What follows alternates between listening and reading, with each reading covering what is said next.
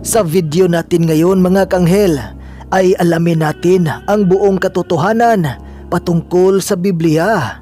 Bakit marami ang nagsasabi na ang Biblia raw ay isang malaking kasinungalingan?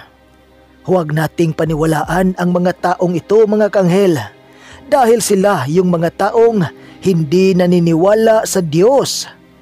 Pwede nating sabihin na mayroong nakasulat na kasinungalingan sa Biblia. Ngunit ito ay dahil kay Satanas. Pero hindi ang Biblia mismo ang nagsisinungaling.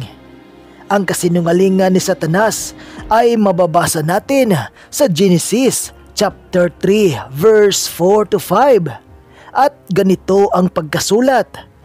At sinabi ng ahas sa babae, Tunay na hindi kayo mamamatay sapagkat talastas ng Diyos na sa araw na kayo'y kumain niyaon ay madidilat nga ang inyong mga mata at kayo'y magiging parang Diyos na nakakilala ng mabuti at masama. At dahil dito, isang malaking kasinungalingan ang pinag-ugatan ng paggawa ng kasalanan dahil nilagyan ng lason ang pag-iisip ni Iba para lang kumain sa bunga sa punong kahoy na iyon. Nalinlang si Eva sa ahas na si Satanas. Yun ang malaking kasinungalingang nakasulat sa Biblia dahil sa kagagawan ni Satanas. Malinaw ang sabi ng Diyos kay Adan at kay Eva. Sinabi ng Diyos, kapag kumain kayo ng bunga ni Yaon, walang pagsalang, kayo'y mamamatay. Pero dahil sa kasinungalingang ginawa ng ahas na si Satanas kay Eva, kaya sila ay nakatanggap ng parusa mula sa Diyos. Ngayon, ano naman ang kaugnayan nito sa ating panahon ngayon? Hindi lang kasinungalingan ang pinagagawa ng mga tao ngayon. Gumagawa ang mga tao ngayon ng mga karumaldumal na gawain, mga pangalipusta, mga pagbibintang na wala sa katotohanan at marami pang iba.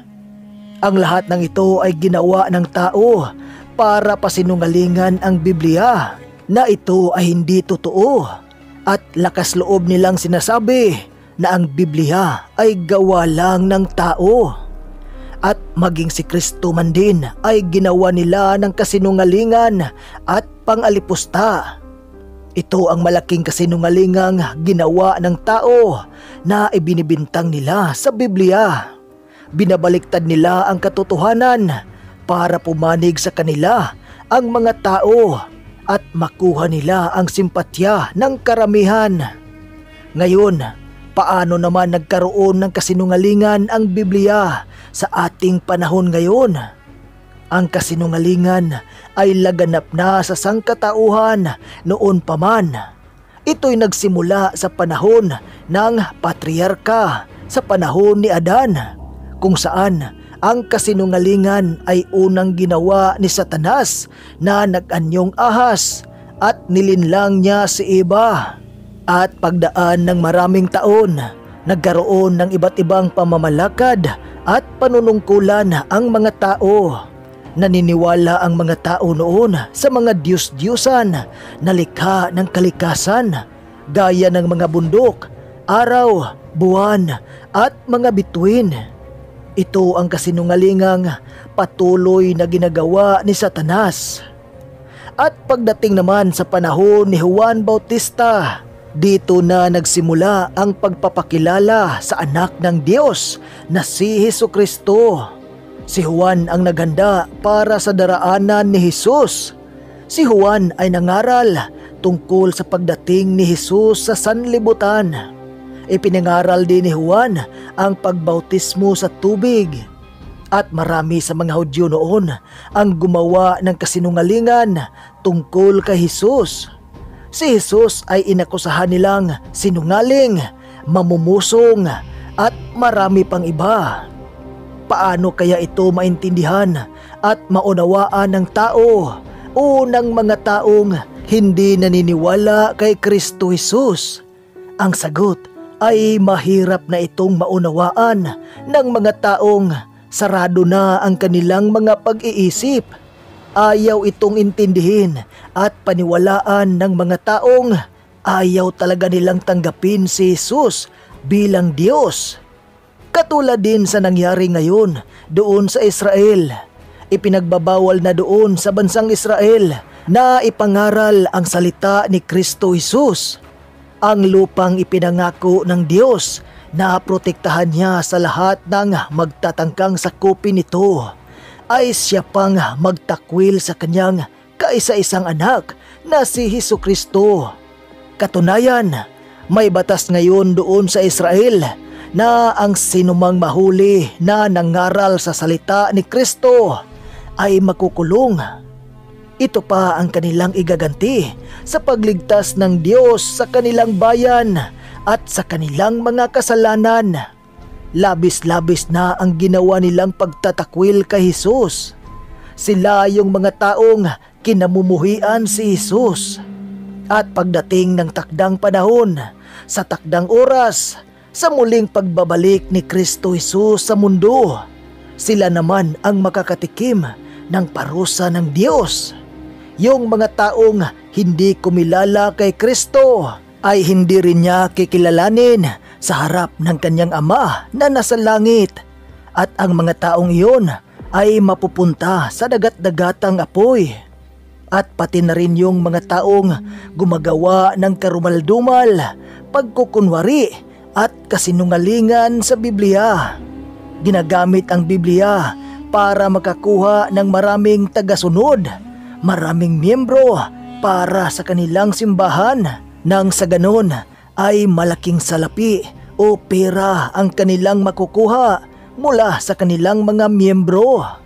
Sinasabi ng mga leader nila o ng mga pastor nila na dapat silang magbigay ng 10% sa simbahan, ikapo o tithes kung tawagin.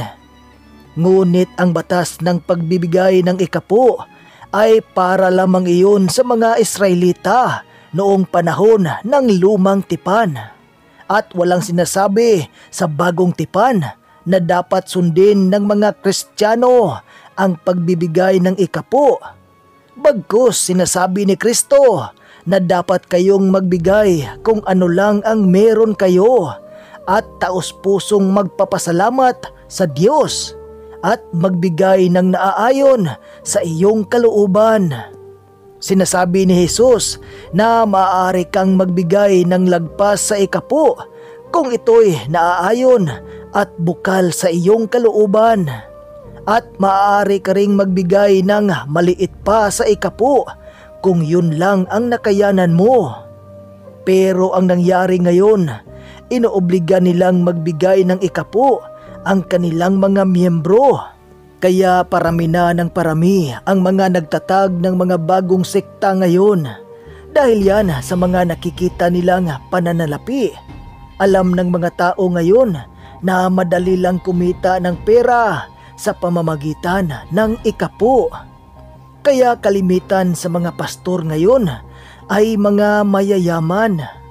Ngayon, hindi ba ito kasinungalingang pinabulaan na nila mula sa Biblia?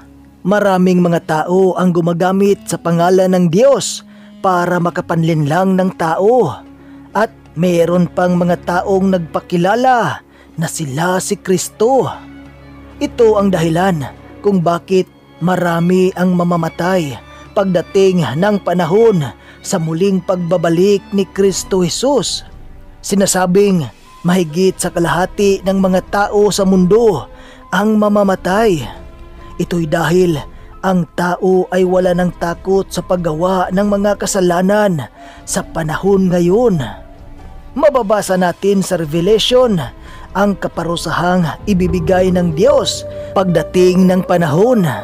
At ganito ang pagkasabi, Hinipan ng ikaanim na anghel ang kanyang trumpeta at nakarinig ako ng tinig mula sa mga sulok ng gintong dambana na nasa harapan ng Diyos. Iniutos nito sa ikaanim na anghel na may trumpeta. Kalagan mo ang apat na anghel na nakagapos sa tabi ng malaking ilog Euphrates. at pinalaya ang apat na anghel upang patayin nila ang ikatlong bahagi ng sangkatauhan.